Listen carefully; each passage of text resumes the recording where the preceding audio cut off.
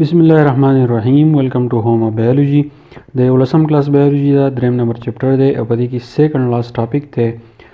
چې ډیسکرایب د کنټرول اف انزایم اکټیویټي چې انزایم په سیل کې چې کوم موجود دی دا انزایم چې کله یو ریاکشن کوي او سبسټریټ اٹیچ کیږي نو په دغه وخت کې د انزایم چې دی د د اکټیویټي چې دا هغه څنګه کنټرول کیږي او کنټرول کیږي نو دغه وجوهات سری او د دې چې کوم اکټیویټي ده د څه وجوهاتو د وجې نه چې دا خپل کار پرېږدي نو په دې ټاپک کې به زه تاسو ته دا وایم خو د دې ټاپک بیانول دپاره د دې جواب درکول دپاره اول به سر به موږ وپېژنو انهیبیټر چې انهیبیټر څه ته وایي انهیبیټر په عام الفاظو کې موږ دې ته وایو چې کله یو څیز تا د یو کار نه منع کوي نو دې ته ویل کېږي انهیبیټر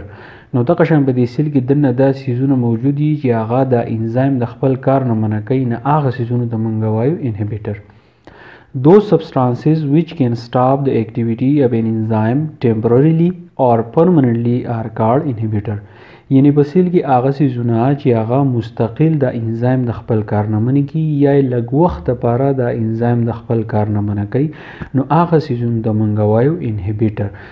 چی مستقل د خپل کار نه منی کی نو ددی مطلب دا دی چی انزایم کار چی دی هغه په سیل کی ختم شو اوس د انزایم زموږ د پاره څه فایده نشته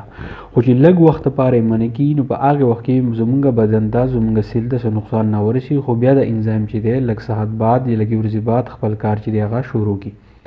انهیبیټر کنورټ د انزایم انټو ان اکټیو سبسټانس که پرس که دا انهیبیټر دا چل وکړي چې دا انزایم د خپل کار نه منې کین نو دې مطلب دا دی چې انزایم زموږ د پاره چې دی دا اوس پیدمن نه دی او دا یو ان اکټیو سبسټانس دی دا داسې یو سیز دی چې د دې اکټیو نه دی د دې اړو سکار چې دی هغه پاتې نشو اټ بلاکس د اکټیو سایټ اف انزایم انهیبیټر پاسل کې څه کوي د دې انزایم چې کوم اکټیو سایټ یې ناغه چې دی منکې لکه راغه چې دی خپل کار چې دی دا غینې منع کوي لکه انزایم چې د سبسټریټ ته اټیچ کیږي او غیر ریاکشن تیزي نو انزایم به دا کار نشي کولای نو انزایم انهبیشن از ا نارمل پروسس اف د ریګولیشن اف انزایم اکټیویټي وین د سیل خدای یو نارمل خبره ده ځکه چې په سیل کې زموږ سره مونږ ویلو چې تر 3000 پورې انزایم چې دی هغه موجود دي نو انزایم د پاره کم انهبیټر چې دی انزایم د خپل کار نه منع کولو د پاره چې دی نو دا یو نارمل پروسس دی ځکه چې په کم ځای کې انزایم زی نو هغه د کوم انهبیټر چې دی هغه استعمالیږي او سه انهبیټر داسې دی چې هغه موږ اورلی چې دی هغه موږ استعمالو موږ خورو چې کله دی سیل ته لاړ شي نو انزایم چې دی د خپل کار نه منع کی فار ایگزامپل ډي ډي ټي ډي ډي ټي اوس څه شی دی دا دی ډای کلورو ډیپینایل ټټرا کلورو ایتین د انټي باډیز دي چې دا داسې انټي باډیز دي چې زموږ جسم کې پیدا کیږي اینډ سم ډرګز او څه سیزونه داسې دي چې هغه موږ چې د استعمالو لکه ډرګز دواینې وغیره نو باقي دا ډي ډي ټي چې دی دا موجود دي دي ته موږ انټي باډیز هم ویلی شو او دي ته موږ ډرګز هم ویلی شو دا یو انهیبیټر دی او د انزایم د خپل کار نه چې دی منع کولی شي بیا ټایپس اف انهیبیټر دي چې انهبیټر چې دی قسمونه څو دي نو یاد ساتئ دی آر ټو مین ټایپس اف انهبیټر د انهبیټر چې دی دا غا دوا مین قسمونه دي اولنې قسم چې دی هغه ته مونږ وایو ایر ریورسیبل انهبیټر مونږ ته ایر ریورسیبل انهبیټر وایو ایر ریورسیبل انهبیټر مطلب دا دی چې کله دا انهبیټر راشي د انزایم لا او دا انزایم چې دی د خپل کار نه منع کوي خو چې کله د خپل کار نه منع کوي او د انزایم چې دی مکمل طور د انهیبیټر سره اټیچ شي او د دې کار مکمل ختم شي نو دې ته مونږ وایو ارریورسیبل انهیبیټر یعنی انزایم چې دی مکمل طور چې دی ختمي دیز انهیبیټر پرمننټلی سټاپ د اکټیویټي اف انزایم بای اکوپاینګ دیئر اکټیو سایټ پرمننټلی نو چل داسې وشي چې کوم Irreversible Inhibitor دی دې ټکي نه به تاسو ته پته لګي دی راشي انزایم له او په انزایم کې یو ځای چې هغه ته مونږه اکټیو سایټ وایو دا هغه اکټیو سایټ دی چې په کوم اکټیو سایټ باندې دا سبسټریټ سره ځان اټیچ کوي خو چې اوس د Irreversible Inhibitor راغی دا د انزایم د اکټیو سایټ سره ځان اټیچ کو نو دې خبرې مطلب دا دی چې دغه سبسټریټ چې دا به واپس بیا دې له نشي راتلی چې نشي راتلی نو انزایم کار په دې کې ختم شو These enzymes are unable to perform their normal function and become useless دغه خبره ده چې دا انزایم چې دا بیا ثابت عمر دی خپل کار نشي کولای تر څو چې دا په دې سیل کې موجود وي او د دې بیا څه پیدا چې دی پاتې نشي خبره اسانه ده په دې کې وضاحت چې دی سره ډېر ضرورت نشته ځکه چې اسانې خبرې دي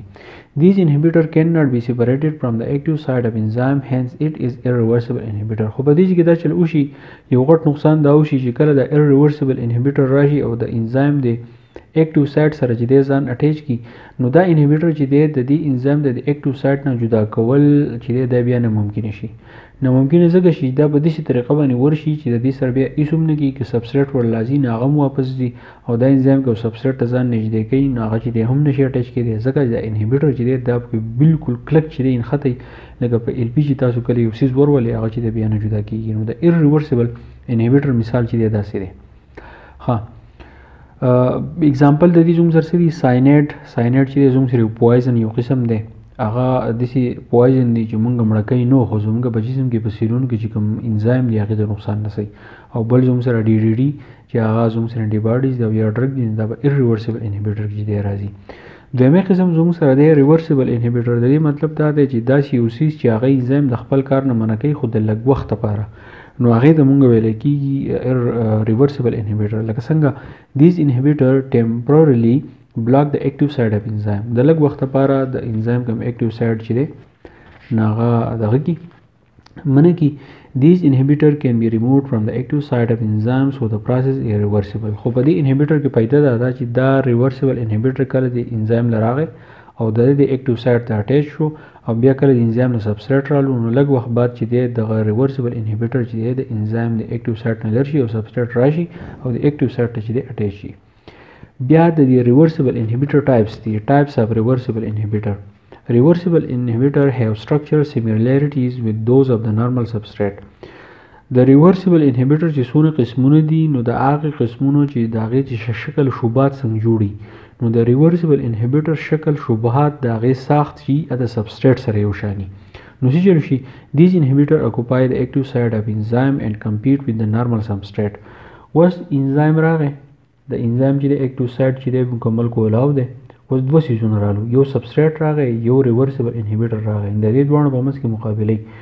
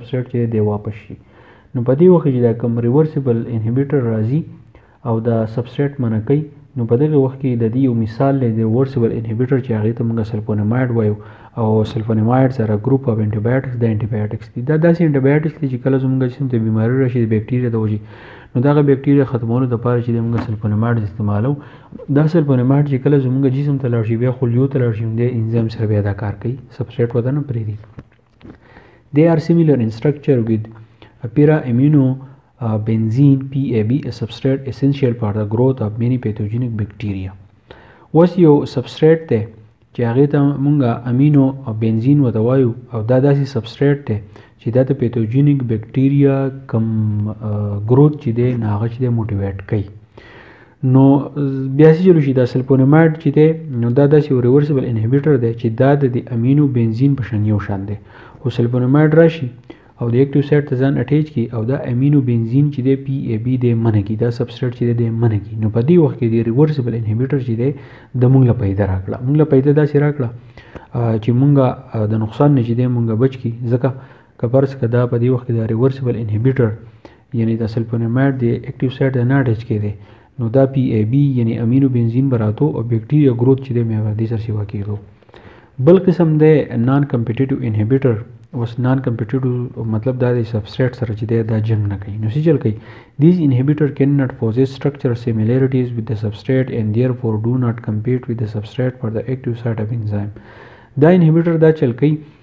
چې د دې شکل شوبات چې دي دا د سبسټریټ سره چې دی یو شان نه او دی چې دی جنګ هم نه کوي د اکټیو سایډ د پاره چې دی جنګ هم نه کوي او سچرو شي دیر فور دی ډو ناٹ کمپیئر ټو سبسټریټ پر د اکټیو سایډ اف انزایم یعنی د اکټیو سایډ د پاره دی جنګ نه کوي دی نان کمپټیټور دی دا سی چل کوي چې جنګ نه کوي د اکټیو سایډ سره ځان نه اٹیچ کوي نو د دې ضرورت سره دی کمباین وذ انزایم ایډ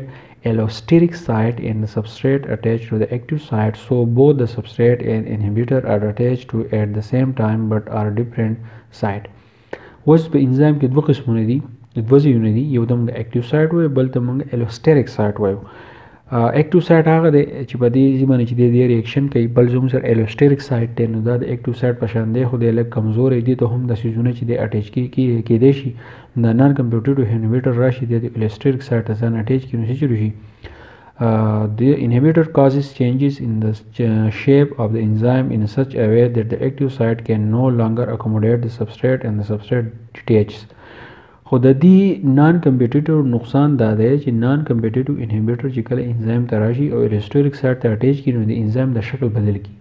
خو چې کله د انزایم دا شکل بدل شي نو د دې سره د اکټیو سایټ دا ځای چې دی دا هم بدل شي خو چې کله اکټیو سایټ دا ځای بدل شو نو د دې مطلب دا دی اکټیو سایټ ته په دغه وخت کې سبسټریټ اټیچ شوی دی نو سبسټریټ چې دی هغه تی اوزي او انزایم شکل چې دی بدل شي نقصان نه کی هنس کټلایزیشن کین ناټ ټیک پلیس نو د دې مطلب دی د انزایم چې دی بیا ریاکشن نشي سپیډ اپ کولای کټلایزیشن دی نشي کولای د انزایم پیلز ټو کټلایز د سبسټریټ نو انزایم چې ظاهر خبره ده چې په دې وخت کې به دی پیل شي